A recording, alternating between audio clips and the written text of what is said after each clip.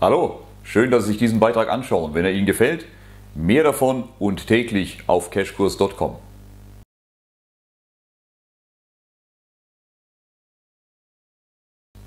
Einen wunderschönen guten Morgen, meine Damen und Herren. Herzlich willkommen zum neuen Handelstag und äh, an den Börsen relative Ruhe, zumindest was den DAX angeht. 9450 heute die Frühbörse und es bleiben die Marken des gestrigen Tages 9,3 unten, 9,6 oben und dann weiter entfernt 8900, 9800 als die größeren Marken, die es zu beachten gilt. Also heute noch Geplänkel. Aber Hyper, Hyper heißt an der Börse heute, äh, Zalando geht an selbige und da wird geschrien, na zumindest medial.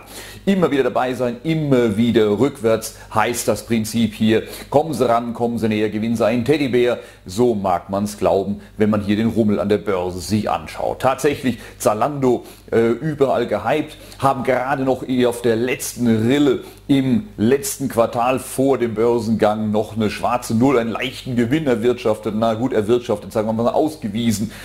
Es bleibt interessant zu sehen, wie nachhaltig das ist. Wir schauen bei anderen Unternehmen immer darauf, äh, wie die Gewinnergebnisse, die Gewinne der letzten Jahre aussehen, wie die Prognosen aussehen und hier freut man sich schon über ein erfolgreiches Quartal. Wie gesagt, man kann durch Bilanzverschiebungen, alles im legalen Bereich, immer die eine oder andere kurzfristige äh, Ergebnisse, Verbesserung, Veränderung äh, erreichen. Ob das langfristig dann auch äh, Substanz hat, das bleibt abzuwarten.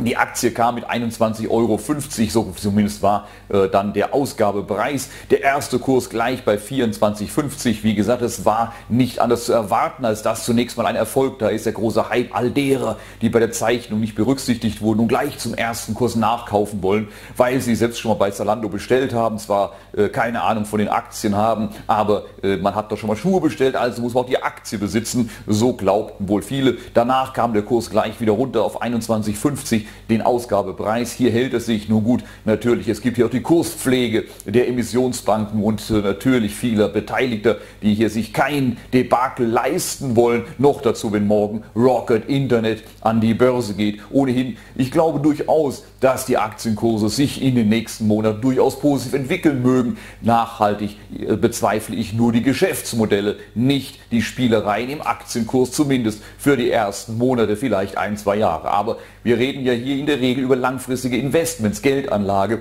und da äh, fällt es mir offen gestanden schwer, bei Zalando, Alibaba und den 40 Räubern oder auch den Internetraketen zuzugreifen. Wenn morgen Rocket Internet kommt und äh, ich hatte ja nur schon einiges dazu gesagt, ich möchte mich jetzt auf was anderes beschränken. Sie kennen meine negative, meine skeptische Einstellung zu dem Geschäftsmodell, zu den langfristigen Erfolgsaussichten auch von Rocket Internet und ich möchte Ihnen an dieser Stelle nur zwei Zitate aus dem Geschäftsbericht äh, erzählen, die wir dort gefunden haben. An dieser Stelle übrigens besten Dank für die Vorarbeit für Bankhaus Rott. Aber zwei Zitate aus dem Geschäftsbericht seien erwähnt. Unsere ausgereiftesten Unternehmen, die sogenannten Proven Winners, also die bewährten Gewinner, erwirtschafteten Gesamtumsatzerlöse von 757 Millionen Euro. Umsatzerlöse, muss man dazu sagen sowie Gesamtjahresfehlbeträge von 442 Millionen Euro. Also knapp 60 Prozent der Umsätze, so hoch war der Verlust. Und das sind die Proven Winners. Da will ich nicht wissen, wie die anderen Firmenteile, die, die nicht so doll laufen, ausgesehen haben, wenn die Gewinner es schaffen, 60 Prozent des Umsatzes in Verluste umzuwandeln. Aber interessant auch noch ein anderes Zitat. Nahezu alle unsere Unternehmen weisen eine begrenzte Historie ihrer Geschäftstätigkeit auf, machen derzeit bedeutende Verluste und verfügen über einen negativen operativen Kapitalfluss, erfordern einen hohen Kapitaleinsatz und werden möglicherweise nie gewinnbringend oder zahlungsmittelgenerierend sein. Meine Damen und Herren, wer diese Aktien kauft, der muss schon verdammt tief im Glauben stehen. Warum sollte ich als Anleger eine solche Aktie kaufen, solange es von guten Aktien wie Cisco, Apple, IBM, Siemens, Volkswagen, Daimler noch genug Stücke am Markt gibt? Das muss mir mal jemand erklären.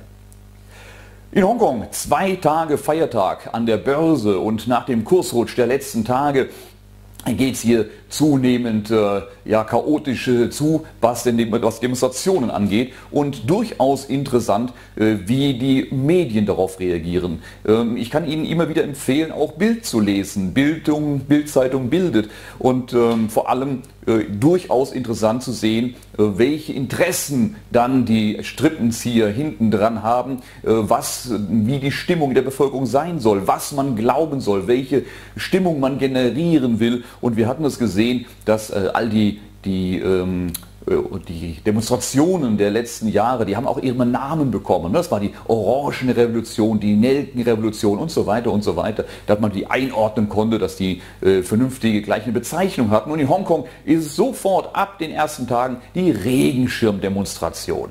Und äh, es ist durchaus ein Thema, das man sich anschauen sollte.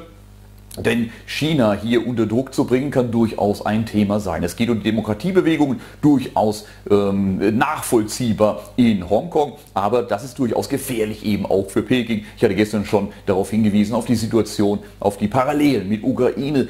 Damit kriegt man Moskau massiv unter Druck, vielleicht eines Tages die Revolution in Moskau. Und das, was in Hongkong passiert, kann durchaus in China für ziemlich Ärger sorgen, wenn dort ebenfalls eine ja, Demokratiebewegung entsteht. Wir erinnern uns an die Panzerniederschlagung der, der Studentenproteste vor vielen Jahren und äh, in Peking kann das durchaus spannend werden. Ich kann Ihnen diesbezüglich äh, den Artikel, der heute auf Cashkurs erscheint, von Willy Wimmer diesbezüglich nur wärmsten ans Herz legen. Er hat ja über Jahrzehnte die deutsche Außenpolitik mitbestimmt und beste Kenntnisse über die Zusammenhänge der Vergangenheit und der Gegenwart, was diese geostrategischen Themen angeht. Ich kann Ihnen den heutigen Beitrag nur wärmsten ans Herz legen in Bezug auf Hongkong und China. Und äh, das darf man sich durchaus anschauen. Und bitte auch nochmal mit der Frage verknüpfen, die ich bereits im ersten Buch Crashkurs aufgeworfen habe, nämlich der Frage, wie wahrscheinlich ist es, dass Amerika zuschaut, wie China einfach so die weltwirtschaftliche Nummer 1 wird und damit auch die weltweit politische Nummer 1 wird? Oder wird Amerika alles in seiner Macht Stehende tun, um das zu verhindern? Jetzt müssen wir nicht jede Demonstration auf die Amerikaner schieben, aber Interessen sind hier definitiv vertreten.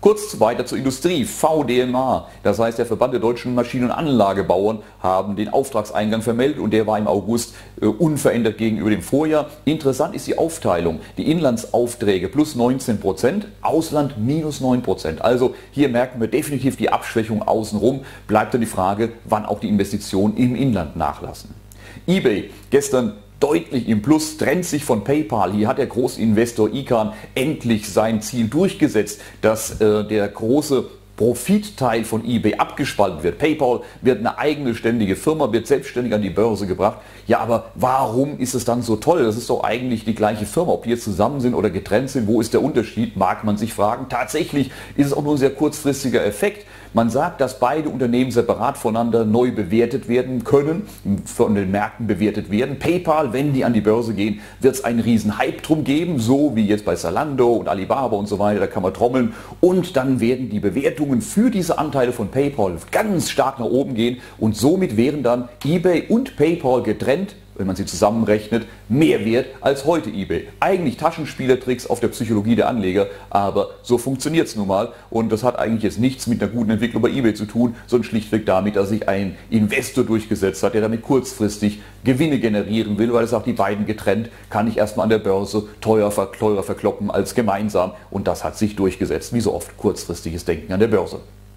Microsoft bringt ein neues Windows raus, überspringt die 9, geht gleich zur 10 und erkennt, dass Windows 8 mit der Struktur der, der Quadrate ein völliger Flop war. Also das wurde von den Kunden überhaupt nicht angenommen. Da fragt sich der geneigte User doch, sag mal, Prüft ihr vorher, ob die Leute, ob eure Kunden das überhaupt wollen? Macht ihr da Markterhebungen oder schraubt ihr da irgendwo im Hinterzimmer einfach was zusammen und guckt mal, was dabei rauskommt? Also ein Autobauer, der, ein, der so wenige Autos in der äh, Modellpalette hat wie Windows, wie Microsoft mit seinem Betriebssystem und sich einen solchen Flop erlauben würde, na den würde man aber stark in Frage stellen, vor allem seine Entwicklungsabteilung und das muss man auch bei Microsoft. Also wenn die so äh, unkoordiniert den Markt angehen, dass sie einfach mal ein so wichtiges Produkt wie Windows raushauen und hinterher feststellen, ach war ein völliger Flop, müssen wir anders machen, dann muss man sich schon fragen, ob die da wirklich die richtige äh, Struktur in ihrer Forschungs- und Entwicklungsabteilung haben.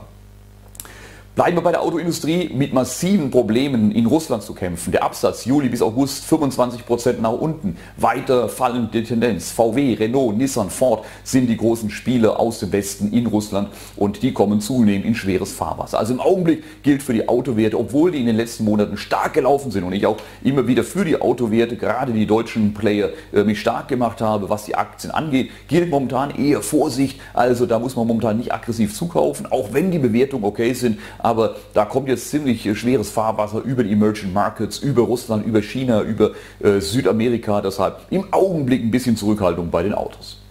Lufthansa, wieder Streiks hier äh, stehen an, regelmäßig. Dazu Streik am DHL Luftverkehrskreuz in Leipzig. Da bleibt nur die Erkenntnis, Finger weg von Luftverkehrsaktien. Sie sind einfach schwer kalkulierbar. Ständig Streiks, ständig Ausfälle. Ein Auf und Ab äh, der Ergebnisse der Kurse, also Luftverkehrsaktien. Da muss man schon wirklich äh, sehr, sehr in der Materie sein und ständig hin und her springen, um da vernünftig anzulegen. Also für den langfristigen Investor eher nicht so die erste Wahl. Bei Adidas kommt es zu Aktienrückkäufen. Das dürfte der Aktie durchaus in den nächsten Wochen Schub geben. Ja, kommen wir nochmal zum politischen Bereich bzw. Gesundheitsthemen. Ebola in den USA angekommen. Das ist heute eine der großen Meldungen und äh, das ist natürlich durchaus für das wir Sorgen im Land, im Land führen. Und äh, wie in der Vergangenheit auch waren die Ängste vor irgendeiner Gefährdung der eigenen Bevölkerung immer eine Grundlage, mit der man am Ende auch wieder und wieder die, ähm, die, die, die, Freiheitsrechte abgeschafft hat, die Kontrolle erhöht hat und ähm, man muss kein Schelm sein, um anzunehmen, dass auch das wieder genutzt wird. Denn wir sehen jetzt, da ist ein Mann eingereist und jetzt liegt er im Krankenhaus. Man weiß nicht, mit wem hatte der Kontakt, wen hat er möglicherweise angesteckt. Und da wirft sich sofort doch der, die Frage auf, ja, wenn man nur eine ständige Aufzeichnung hätte, wer wann mit wem Kontakt gehabt hat, ja, dann könnte man die sofort kontaktieren und die Seuche eindämmen, bevor es ganz Amerika trifft. Also da müsste man doch dringend was tun. Finden Sie nicht auch? Interessant ist, wenn man sich anschaut, wie Amerika vor 20 Jahren aussah, wie unsere äh, Freiheit vor 20 Jahren aussah und welche Einschränkungen heute stattgefunden haben. Ich hatte die Tage einen sehr weisen Taxifahrer. Oftmals äh, hat man da sehr spannende Gespräche und dieser Taxifahrer hat einen schönen Vergleich gebracht, der schon älter ist, aber lange nicht mehr gehört. Es ist, wenn man einen Frosch in heißes Wasser schmeißt, springt er sofort wieder raus. Setzt man ihn aber ins Wasser und dreht den Herd auf und lässt das Wasser langsam heiß werden, dann bleibt er drin sitzen, bis er verkocht ist. Und so ist es hier wohl auch. Hätte man die ganzen Veränderungen der Freiheitsrechte in Amerika, auch, auch bei uns, äh, innerhalb von einem Jahr durchgepeitscht, einfach per Gesetz, wir wären amok gelaufen, die Straßen wären voll mit Protesten. Aber so sukzessive, Stück für Stück, bleibt der Frosch im Wasser sitzen. Tja, mal sehen, wann wir abgekocht sind. Die Türkei an der syrischen Grenze zieht ihre Truppen zusammen. Und äh, hier natürlich die erste Meldung, die wollen gegen die ISIS vorgehen, gegen den IS oder wie immer es gerade genannt wird. Aber am Ende geht es um die Angst vor dem Kurdenstaat. Die Türkei hat die zweitgrößte NATO-Armee nach den USA und natürlich haben die vor dem, was wir, was die USA hier gerade versucht zu kreieren, nämlich mitten im Nahen Osten einen kurdischen Staat als neue Größe. Davor hat die Türkei natürlich große Sorge und möchte jetzt an der syrischen Grenze gegen die äh, kurdischen Teile auf dem syrischen Gebiet vorgehen. Das ist das, was da hinten dran steckt und nicht die Aggression, äh, nicht der, der, der Vormarsch gegen die IS. Ganz im Gegenteil. Unter Umständen hat die Türkei an der IS momentan sogar ein gewisses Interesse, die den Aufmarsch oder diese Entstehung eines Kurdenstaates zu verhindern. Also eine ganz spannende Entwicklung, was hier im Nahen Osten gerade los ist und welche Büchse der Pandora wir hier wieder geöffnet haben. Einige Wirtschaftsdaten noch heute um 14.15 Uhr USA Arbeitsmarktdaten, 16 Uhr äh, ähm, ISM-Index für das verarbeitende Gewerbe und die Bauausgaben. In diesem Sinne, ich wünsche Ihnen erfolgreichen Handelstag. Schreien Sie nicht zu laut für Solando, machen Sie es gut und bis morgen.